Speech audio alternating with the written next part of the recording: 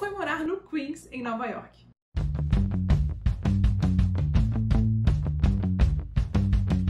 Se você ainda não conhece, muito prazer, eu sou a Mariana do arroba Sonhado Viagens lá no Instagram e agora aqui também no YouTube, onde eu vou falar muito sobre viagem, intercâmbio, então não perde tempo, se inscreve aqui porque tem muita coisa boa por vir. E no vídeo de hoje eu vou falar sobre a polêmica região do Queens e como foi morar lá durante o meu intercâmbio em Nova York. Bom, então eu acabei morando no Queens durante três semanas, que foi o período do meu intercâmbio que eu fiz em Nova York. Inclusive já tem vídeo aqui no canal contando tudo sobre como foi lá, que eu vou deixar aqui linkado para você assistir depois. E aí eu vou contar para vocês como foi a minha experiência morando no Queens, para quem sabe você considerar para sua próxima hospedagem na cidade. Hospedagem e acomodação é uma das coisas mais caras de Nova York, então por isso que eu vim também desmistificar outras regiões que não são Manhattan para você se hospedar, para ficar mais fácil de entender assim a geografia de Nova York.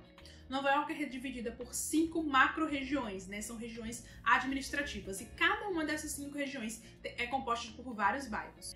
As cinco regiões de Nova York, que tá aqui até na minha camisa que eu comprei lá, são Manhattan, a mais famosa, a mais cara, é onde fica a maioria das atrações turísticas. O Brooklyn, que também já tá bem conhecido, mas a partezinha explorada pelo turismo ali no Brooklyn é muito pequena comparado ao resto do Brooklyn, que vai até Coney Island. Staten Island, que tem o famoso ferry que leva de Manhattan até essa ilha, que dá para você ver a Estátua de Liberdade de graça. O Bronx, que é a única dessas regiões que não fica numa ilha, né, fica ali no continente, no norte ali de Manhattan.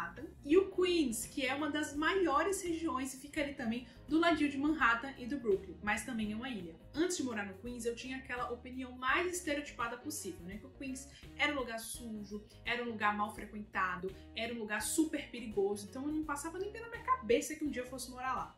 Mas, quando eu fechei o meu intercâmbio para Nova York, eu vi que as opções de hospedagem em Manhattan eram simplesmente o dobro do que fora de Manhattan. Então, quando eu fechei, eu comprei acomodação fora de Manhattan.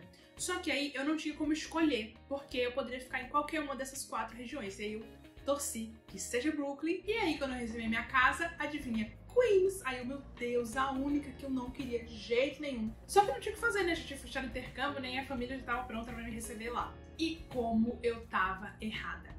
Eu fiquei no bairro chamado Woodside, que ele não é muito longe de Manhattan, ele fica mais ou menos a 21 minutos de metrô direto. E tinha de tudo ali muito perto, muito fácil acesso perto de casa. Então tinha restaurante, farmácia, loja, o metrô muito perto. Então assim, tinha tudo e muito mais barato do que comprar as coisas em Manhattan.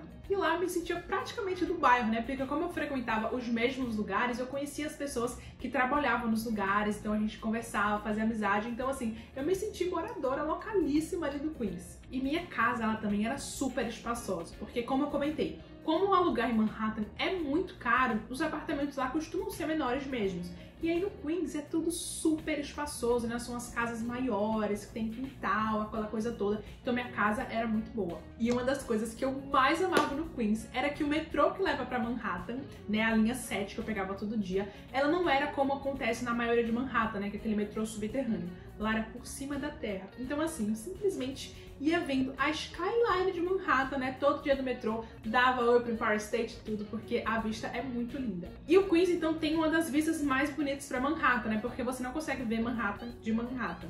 Então, do Queens, né, tem um parque, inclusive, que eu passei para ver os fogos do 4 de julho, que tem uma vista lindíssima para Manhattan. Então, assim, quando eu cheguei no Queens, o primeiro impacto, assim, me deixou receosa, porque, assim, de fato é muito diferente de Manhattan, né, o estilo e tudo mais, mas eu fui vendo que era do bairro mesmo, que era daquele jeito, que era super tranquilo, então foi mais a impressão geral mesmo.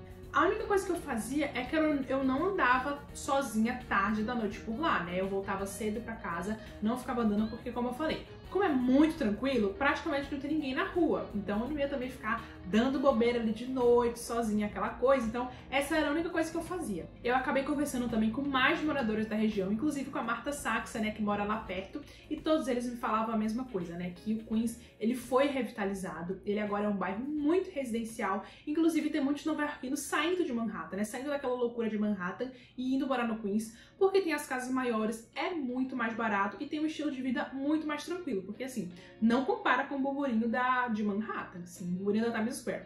Queens, assim, é outro mundo, muito mais tranquilo. O Astoria, inclusive, que é o bairro que fica acima ali do Woodside, é conhecido como o bairro dos brasileiros. Inclusive, eu fui no restaurante brasileiro lá. Obviamente que aqui eu não tô falando por todo o Queens, porque como comentei, ele é muito grande, tem regiões que ficam muito distantes de Manhattan. O que eu visitei ficava até 40 minutos de Manhattan. Então, dessa região antes, assim, eu posso garantir que é super seguro e é uma opção muito viável para você ficar lá. Agora, mais do que isso, eu não sei dizer. E nas casas de intercâmbio também, eles não oferecem casa que fica a mais de 40 minutos, então você não deve se preocupar tanto com isso. Eu tenho um amigo, inclusive, que foi comigo nesse intercâmbio, que ele ficou em outra casa de família, também no Queens, mas ficou em Forest Hills, que é simplesmente o bairro do Homem-Aranha. Então eu fui visitar ele, conheci também aquela região e também era super tranquila. E eu também fiquei sabendo que a maioria das casas de família fica mesmo no Queens. Então com certeza eu recomendo ficar no Queens, ou na sua viagem, ou no seu intercâmbio, ou para ir morar em Nova York, eu recomendo muito, principalmente esses bairros que são mais próximos de Manhattan, como Woodside, que é só 20 minutinhos tá em Manhattan, então é muito próximo. Inclusive, tem vários hotéis já no Queens, né? Justamente pensando nesse público que quer pagar mais barato em hospedagem e também tá aberto para explorar regiões que não sejam só Manhattan. E aí, imaginava que era assim morar no Queens? Me conta aqui nos comentários que eu quero saber. E se você quiser continuar nessa temática de Nova York, tem o meu vídeo contando tudo sobre o meu intercâmbio pra lá, com valores, passeios que eu fiz, tudo como funcionou, que eu vou deixar aqui pra vocês assistirem. Então, muito obrigada por ter assistido aqui. Se você gostou do vídeo, não se esquece de deixar o like aqui embaixo que me ajuda bastante. E até o próximo vídeo.